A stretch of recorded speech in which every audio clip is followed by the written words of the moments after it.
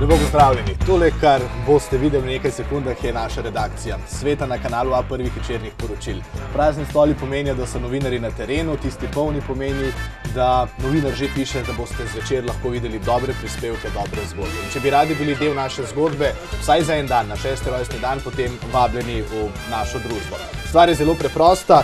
Čez eh, dan boste videli, kako se zjutraj usedemo najprej v tej pisarni, pripravimo nekaj tematik, potem kako gredo novinari na teren, šli boste z njimi, morda boste v roke prijeli celo kamero.